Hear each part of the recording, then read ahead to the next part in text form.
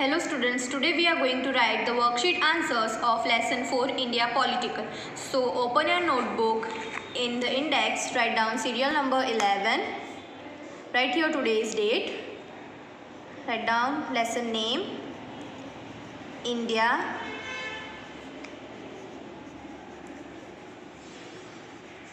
Political. Now go to the new page you have to write today's date, lesson 4, India political worksheet. Question can be written by parents as well but answers must be written by the child only. Let's start. Question 1. Write true or false. Number 1. India is in the continent of Africa. Answer false. Number 2. The Himalayas separate India from the rest of Asia. Answer true.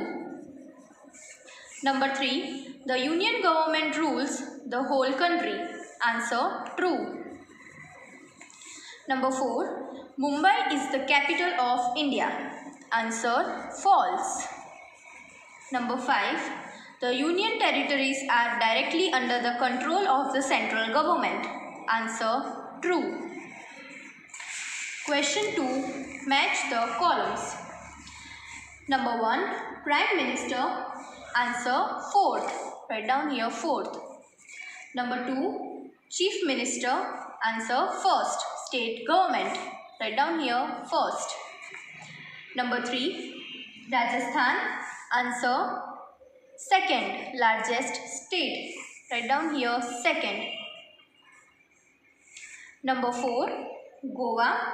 Answer smallest state. Write down here fifth smallest state.